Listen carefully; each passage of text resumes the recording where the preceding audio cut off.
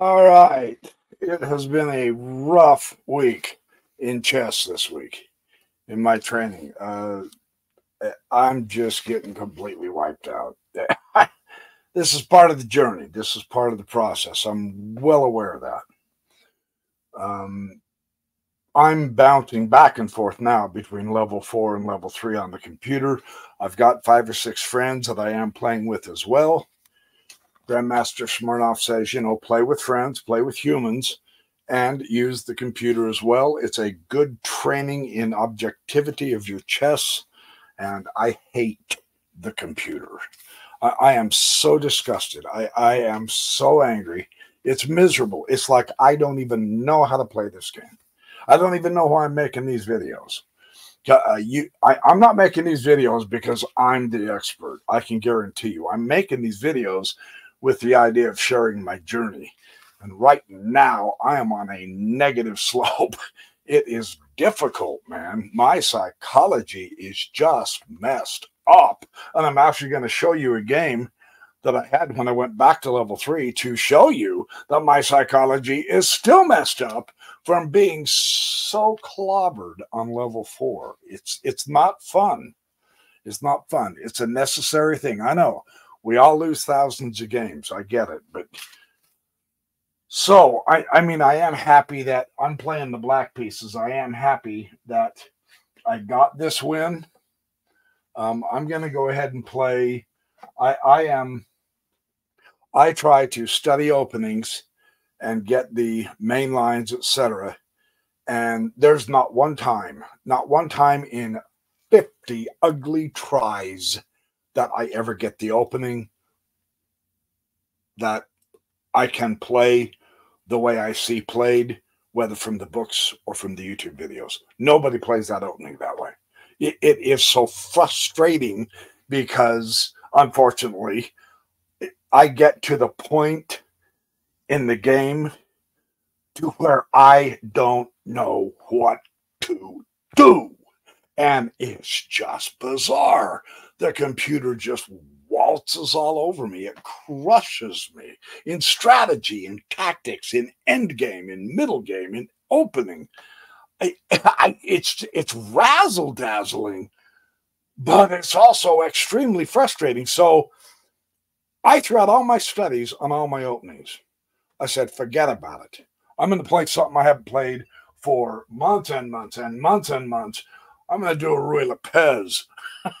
forget the King's Indian and forget the Caro-Kann and forget the cotton picking Joe Bava London or the London or the uh what's the uh I'm so frustrated can't, the Gioco Piano, the Italian game. Forget all that noise. I'm sick of all of them at this point, right? See, this is part of the learning process. I'm going to share with you my psychology, my frustrations, my victories, my thrills, etc. Right now, I am in a fluster. Bishop c4, he's going to play the Italian. So I go, well, all right. I have no idea what to do with the Italian as black pieces in any level of depth, right? So I'm going to have to resort to just basic chess fundamentals, if I even remember them. Because at this point, I am so hopping mad at myself and at not being able to practice what I'm learning because nothing opens the openings. Nobody and nothing opens the openings the way we're shown in the books or on the YouTube videos. It's astonishing. And I have seen that complaint in the comments of several of the YouTube creators who say, Yeah, you show me this opening, you make it look so easy. And I've been trounced 113 times with it. Well, hey, I'm joining you in that club. Me too. wow. I mean, wow, you know. Perhaps it is just a matter of practice. I don't know. Now I'm going to follow suit. I'm not. I've just decided, look, just keep this basic simple, just fundamental. Just stay solid don't do anything fancy like this idiot. And now you can see what he's doing. And I'm going, how on this green earth can I fall for this so fast? Ah, cold water. That feels good. From all my parched throat from yelling and gurgling and squealing and screaming and hoping and all that. So the F7, that is the weak square, right? You've got to keep this in mind with the Italian, with the Gioco Piano, man. And I'm going, oh my goodness. I'm already I've already pressed the pawn too far. I can't block it by putting it on the six, E6. So what do I do? I said, well, I can go bishop E6. I'll just trade the bishop. That's all I can do at this point. I don't want to, but I will. And sure enough, he takes the bishop. Okay. So the bishop is gone. So now I don't have that combination to worry about. And the only thing I can take it with is that pawn. Right? And now the knight will take e6, threatening the queen, forcing me to go to queen e7. And here the computer just slapped me silly. It said, "Yeah, you're right. You're not very good at chess yet. You gotta keep. You gotta do a lot more studying and a lot more practice and a lot more playing because Bubba, that was the wrong move. Uh, I'm exaggerating, but there was a much better move. Um,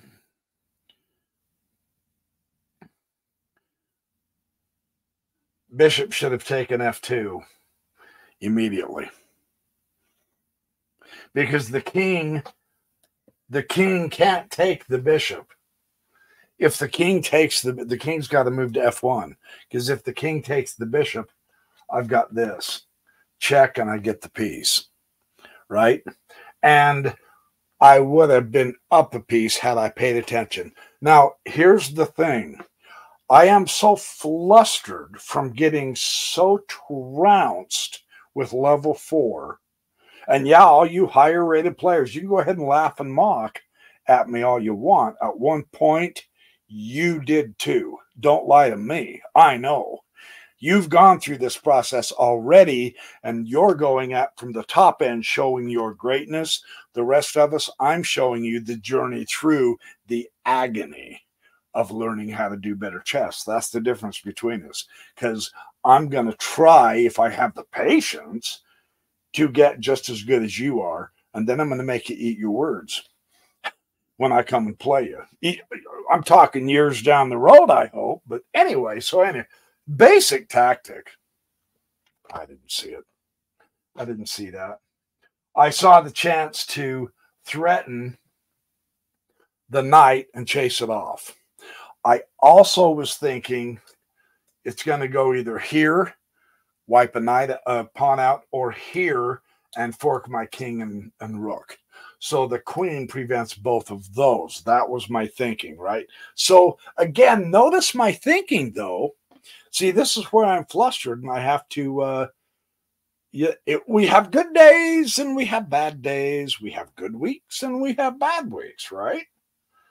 And this was a horrible week for me. One of my worst weeks this year. In fact, my worst week this year so far. And I'm only five weeks into this year. I didn't want a worse week for another couple of months. so much for wishing, huh? So I'm thinking passively, right? That's a passive move. Yeah, without that tactic, and I mean, I had it. There it is. That's his weak square on the king side. So anyway, it's all good because we are still doing okay. And now the knight will take my bishop, the c5. And so I take the knight. Now, honestly, um, in a way, I have that square pretty good. I'm blocking his center. He's not going to be able to come and challenge me very easy. So I got looking at this and I said, yeah, I can put my knight to here to blockade the pawns, but it's still got a bump. So it's not a permanent outpost. So for right now, that's a waste of time. There's no point in helping him strengthen his center and me weaken mine. So the knight won't play for right now. I do have a couple of options. I'm really seriously considering long uh, castle. That that it'll put the rook right across from the queen for one thing. And uh, this pawn's already gone, so there's a great file here. Once I castle, I can bump my rook over, right? I can kick my knight out, come up into here. So I'm breathing a somewhat sigh of relief. I'm thinking, okay, not bad, not not sensational, but not bad. Well, he castles, and I said, well, now this can be a really whoop-de-doo of a game if I castle long, right? Because that means the war is on. I'm going to go ahead and keep developing, get the pieces out, and see. And and I began to get a little hope here. Through the exchange, he didn't get the exact uh, tactics that he wanted, but he was able to exchange some pieces. However, he exchanged all of his active pieces. Now that's encouraging because I've got three pieces developed. He's got nothing. So I'm thinking, all right, slow down. Hold on. Wait. When now, and uh, not necessarily a close center. Doesn't have to be really. It, it helps if it does. It's I have decent control over the center at this point. So should I begin setting up an attack on the king side? That that was a thought in my mind. This frame of of uh, position says seriously the potential's there, not before you castle. Not before you castle, Kerry. You cannot attack in the center. You cannot kingside attack. You cannot queenside attack until you castle. So that's got to happen. As in right now, right? Here he comes. And so I do castle. And I decided, okay, let's go long. Let's go along and just at least keep my eye across from the queen. That can't be wrong. And bishop g5, here we go. So he's getting his pieces. He puts a pin, pretty decent one. Okay, it's all good. That doesn't bother me a whole lot. I can bump the h6 and and then he came way back here. That's too far back. This, this told me. Now, see, the computer's trying to play like a human, right? And on this level, you know, I don't even know if I'm this rated, higher rated. I, I got fortunate that it, it made a weak retreat move. Really, sincerely, it should never have gone back past there. Okay. So so with that in mind, it did come back here. We'll have players who do that with us, so it's good.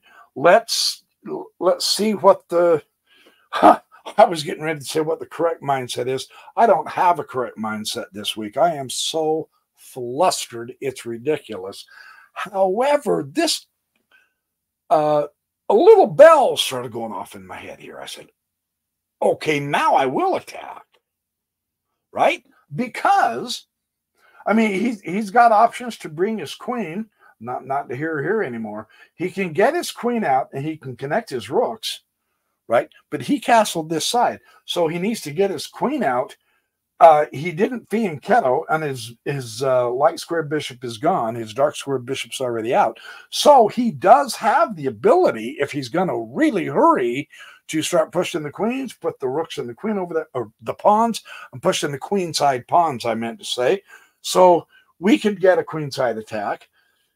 I'm not really on any one side or the other. Uh, at this point, I'm pretty even distributed with the pieces. Technically, more of his pieces are on the queen side. That's why I'm saying, you know, when you do castle opposites, then you want to attack the opposite sides, right? He castled that way, so that's the way I'm going to want to attack. And that's not a hard, fast rule. It it isn't. I mean, it, I castled long, so yeah, come and get me on this side. Uh, but I've got weaknesses all over the place over here. I mean, my pawn structure just sucks, and that was disgusting. I've got, the isolated pawn here that, that I've got to babysit. So, um, yeah, not the best, not the worst, but I decided here and now. I said, okay, um, long term plan. Throw those pawns up here just as fast as you can, but don't do it without the pieces behind them. You gotta have those pieces. That that's just how it works. I didn't invent this. That's how it works. So I've got to get my rooks over there. So that was the plan. And and then I told myself, now, see, when I was playing level four, I would come up with a plan, and in two moves, he obliterated it. I, I, I don't get it. I, I mean, blow me away, Batman. I, wow. So I had to switch plan, and he obliterated it. And in the meantime, I lost a piece. I blundered the piece. I got clobbered with the tactic. And, and I'm going, wow, do I even know how to play this game? And that happened game after game. So I ended up having no plan whatsoever. I, I, my last five losses, I was just moving pieces. I, I couldn't even think. I shouldn't have played those last five games. I was too frustrated. We've been there. We'll be there again, just so you know. And I promise you, anybody that's rated 2200 has had just this kind of week. And if they tell you otherwise, they're lying through their teeth to you because this is the chess process. It just, my psychology is such that I have to say, look, everyone does this and you're no different. You're not special. You're not the special chosen anointed of the future chess grades. So you just shut up and get through your soldiering and you get through your training, pal, and you get ready to lose a lot of games. That's hard on me. It is. I'm too sensitive. I have to toughen myself up psychologically for that. So here's the plan prepare and get those and get this knight on that outpost. And he's right there. Not just yet, though. Not just yet. So, how do you proceed? Well, he kind of helped me by coming to here, I said, all right, bop the bishop. Now, the cool thing is it limits the dark squared bishop, you know, those pawns. That's nice. However, there's a queen down here. And she's got this diagonal. I can't just keep pressing the pawns. So now I must prepare better. Slow down, Carrie. Okay, A3. Slow down, Carrie. Knight D4 because his knight came out, he's not going to be able to chase me away with the pawn. Okay, that was my thinking. So pull that trigger now, get the knight prepped. Okay. And I still, actually, I still might have done that too early. Uh, he really does have a splendiferous outpost right here. He could move to next time and then push the pawn. And then I'm really not going to have a good game with that knight, right? Again, hindsight's better than foresight. Boy. And now he goes A4. Now, it, it's giving me an extra move. It's trying to play like a human, right? It should have just done A4. I get all that. I, I understand that. But the fun thing is now I get my rook. And the computer didn't like this either. The computer kept telling me, dude, king b8. That's where you need to be. And it is correct. So again, I'm hasty. And see, this is part of my problem on level four. Uh, in in sit in trying to sit back and analyze and you know get my psychology straightened out in my head. Uh, patience. I make moves way too fast. It's crazy because I'm playing 15 minute with three increment or five increment or whatever, and I finish and I still have 11 minutes on the clock. Well, that's way too fast. I get that, but speed chess. Everybody's into speed, you know. We gotta hurry. The faster that you do it. And I suspect that's part of my problem. I'm saying, all right, hold on. So I'm going to give it a shot again this next week, and I'll see how I do. Well, actually, I'm going to give it a shot. I'm going to be on level four for several months, is my suspicion. Sincerely. And um, some friends that I'm playing, uh, we're we're having good games. Uh, they're beating me as well. And so that's very helpful because they really don't play like the computer, which is good, but they're better than the computer against me, which is not so good. I mean, wow, you know, that's how it is. Okay, so anyway, rook to d8. And guess what? Knight to d5. Yeah, man, that's an output. That's a great outpost, right? So knight d5. So this is going to be a battle. And and I just said at this point, chop it off. I I don't even uh, okay, it's true. I do want to do a kingside attack, and I'm going to, and I do. And it would be cool if I could have that knight. But I'm not going to because there ain't no way I'm going to start playing reaction chess or defensive chess at this point. I'm evenly distributed. I can focus and run and hit. So I went ahead and traded off. That was my thinking at that point. Just chop it off. Done, no more worry. Okay, so this leaves him a passed pawn, but it's way too advanced, so it's honestly not dangerous yet. And now g4. This was the reason I moved my rook over. And again, the computer was saying, no, king b8. You're not playing this right.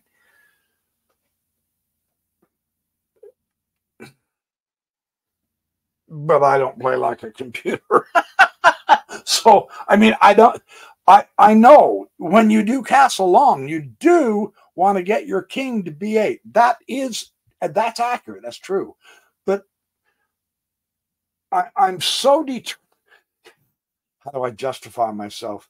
I can't say the computer's wrong. All I can say is I don't play like the computer, and I'm not being objective. I I am not interested in being objective in chess at this point. I want to just try to learn the game and learn how to win and get some wins, you know. So I keep saying, yeah, this is a fun game. This last week has not been fun for me. Not at all it's been close to torture for me. And I, I'm probably making way too big a deal about this. It's not that bad for those of you who are beginners until you start losing every game you play for the next month, like I'm doing. And then it, you know, you have to second guess yourself. But really, nothing here is coming at me really hard, fast, and furious. I will, I will put the king to b8, but man, I need to attack. That was my thing. Okay. Right or wrong, that's what I was doing. So, and so I come to g4, and that rook helps me so that the queen doesn't just simply take it and go check and put me out of commission. I need both those pawns. That's what I believed, right, at the time. So I've got to keep those two pawns. Well, here we go. C3, right? And, and I saw that. So two moves down the road. Well, three moves down the road he went ahead and well, four or five moves down the road. He went ahead and moved his knight, and then he did something here, and we exchanged. And now, sure enough, he's going to kick my knight off. So I'm already committed, and, and I really want to keep these guys together, these pawns, if I can. They're they're much stronger that way. I've got both rooks on the G and the H, and I've got the queen that can come flying in here to H4 when necessary. So um I I really don't have any good squares now either. Maybe there. Maybe I should have went there. What did I do? Oh, I sacrificed the knight. Yeah, I sacked the knight. I said, okay, and, and I do want my pawns to be able to crack the king open also, right? The king is like in a in a tortoise shell, and you have to crack the tortoise shell. It's an eggshell. Break the eggshell and get to the yolk, which is the king. You got to break that cover. You got to break through the fortress. So one of the best ways is to sack a piece. So here's my piece sack in my king side. Yes, and the computer didn't fault me for this. G took, and I said, hot dog, the G file is now open for business. And I went ahead and G took and discovery check. Right there. I also have a good pawn covering the G2 and E2 squares. The rook isn't going anywhere to help up above on the second rank. If if the second rank needs protected, it's going to have to be the queen, unless he takes time to see he's got to move the queen in order to move the rook, and he's got to move the bishop to get a rook here to guard the second rank. It'll be much easier for him to just pop the queen and, and get rid of the bishop out in the field so that he can guard the second rank if that needs be. That I was trying to work through all the logistics. So at this point, I was feeling pretty good. I've got a direct attack on the king, an open file, king h1, queen h4, and carry, carry, carry. Ah, uh, that's a blunder. and you go, you know, I I I'm just saying, I swear to goodness, I am going to learn how to stop blundering. I, I'm not kidding. I'm working hard on tactics puzzles. Not hard, steady. I'm working steady on tactics puzzles. I have a tactics book I'm beginning to go through. I recognize where my real weakness in my chess game is, and I am addressing it. But holy go to sleep nightmare Batman. And the computer let me have a break. Perhaps trying to play like a human. It flubbed up too. It went bishop e3. Now, can you see what it should have done? it's obvious now. See, I'm thinking queen in, rooks, crash the gate, doing 98, let that trucker roll. The dumb pawn, carry, the dumb pawn, carry. I left the pawn behind. Carry, wake up. I left the pawn behind, and it's not connecting the queen and the rook. But I do have that rook, and I do have this pawn covering that square.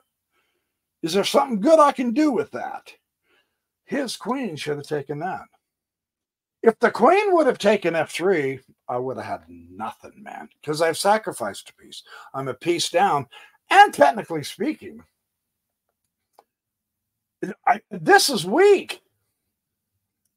Um, my king is nude. I, he could really whop me through the center, right? So I got a break. That's why I say I'm not showing you this game to show you what a fantastic chess player I am. We all know I'm not at this point. I'm on the way to hopefully becoming that. And many, many, many hundreds of you are also. You guys have asked me, you've got to start showing us more of your games and your thinking process because we're much more on your level than if you were a grandmaster or an IM or even a master. And you're right, but you guys are all better than I am. I almost feel like I have no business making these videos. I need to be watching you guys. So this is crazy beans.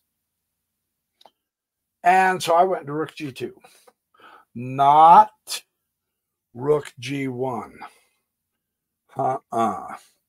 I want to guard. It's the H pawn I'm after. That's where the checkmate's going to happen. But I'm covered at Rook G2 and then bishop came to f4 the only thing it could possibly do and if i remember right oh yeah i took it with the queen i was gonna take it with the pawn and that's like no no no no dork take it with the queen. Man. Quit. My part of my problem is i use too many pawn i rely too hard on the pawns and not the pieces. And then i think his last move was something silly like d4 and you can ignore that because there's the checkmate. So eh, I barely got a win, and I got lucky that I got a win.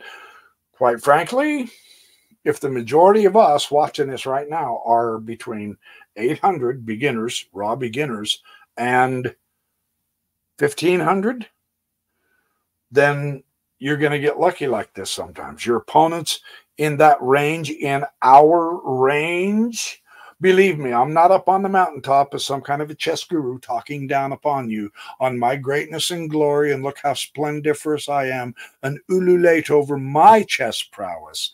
I'm showing you the climb up the ugly mountain to get there. And I'm hoping you're coming along with me. If not, that's your issue. It's all good. It's all good. In the meantime, I'll entertain you as well as show you the journey. So, so there is my checkmate, but I got a lucky break. But isn't that part of it?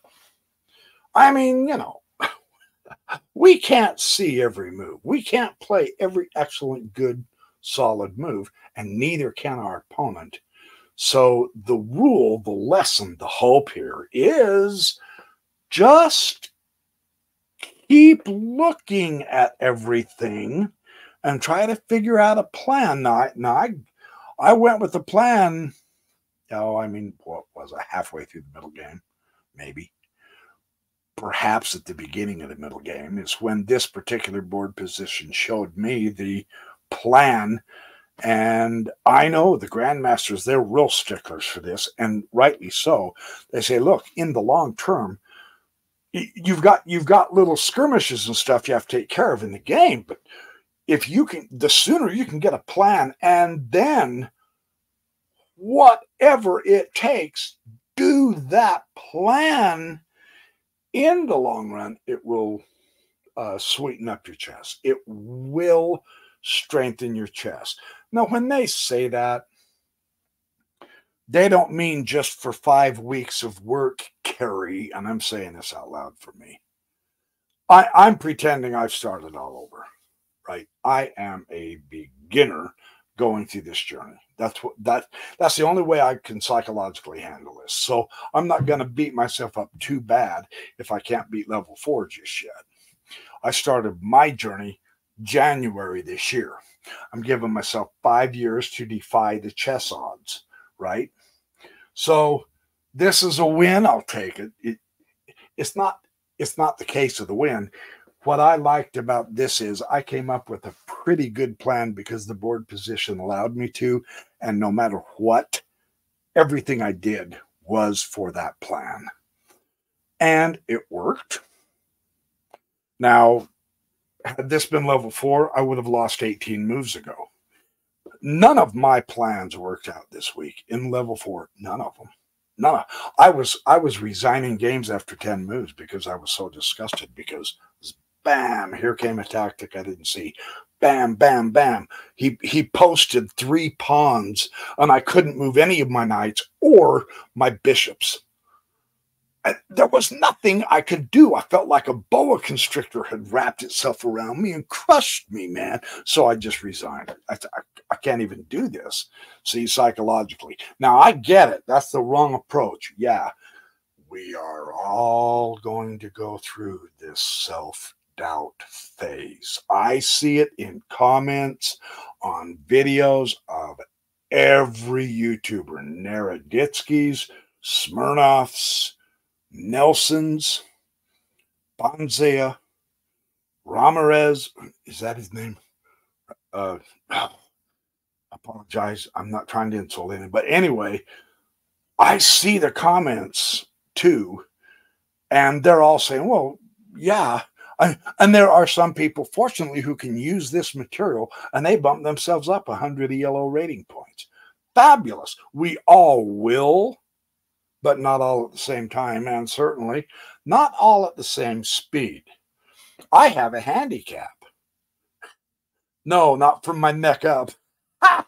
Even though that's true. Yeah, baby. No, I'm older. I'm much older. So defying the chess odds at this point is going to mean some serious determined effort on my part that you guys may not have to go through as strenuous as I am. Uh, life has just not given me the golden path down an easy, oh, I've got 17 years of pure chess. Uh, life happens when you're making plans. I've heard that saying before. That's what's happened to me. But I still love the game and I'm still here and I'm still working on it. And I've been here for what, 11, 12, 13 years. Sometimes I feel embarrassed because I should have got there by now, but there is no time scale. It's just improving yourself, enjoying the process. Even though this week I did not, I will not lie to you. This week was not fun for me. You will have those weeks. Just let me say, don't let that stop you or discourage you. Okay. Because if an old fart like me can do this, then so can you younger, crisp, energetic, awesome people. If I can do this, you can do this. I'm going to give it my best shot. I want to see what I've got for real. Good luck. I'm going to have some ups and downs. So there it is, you guys. Thanks for all your support, your love, your support, your fun, um, friendship. Be friends with everybody. Be happy. Life is good. Life it life really is good. The alternative sucks. So I mean, after all, every day you wake up is a joy. Go look at the sunrise and enjoy yourself. Enjoy this magnificent, gorgeous, beautiful earth with all of its fantastic trees and rocks, mountains and meadows, wildlife animals and tame animals, and other people. So, all right, I'm done. I'm getting preachy now. Don't mean to, but thanks for watching. I will be back with more. Uh, this Sunday is the Super Bowl, and I am going to take a day off from chess, and I am going to go watch the Super Bowl. Uh, it's it's my one day of the year where I get a splurge, and so I have you know spare ribs and stuff like that. Uh, I admit I indulge for one day on the Super Bowl. I'm not a real football fan, a real big football fan. I didn't watch any of the games during the season, but just so you know, and if you disagree with this, that's great. We can have a conversation. It'll be fun. But I am going to poll for Kansas City. Mahomes, I mean that that could be a dynasty, just like San Francisco used to be. So, but both teams are tough. It'll be a great Super Bowl, I'm thinking.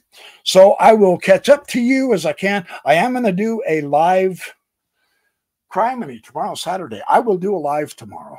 Yeah, um, I have some other uh, I'm going to do some more tactics and traps and stuff. That's fun. I think you guys are enjoying those. I'm really enjoying them because they kind of help sharpen your vision. Well, your vision. Mine, I'm as dull as a dead dodo knife, but that's okay. I'm working on it. I'm grinding against the grindstone. So, all right, I got to go. Thank you. See you tomorrow.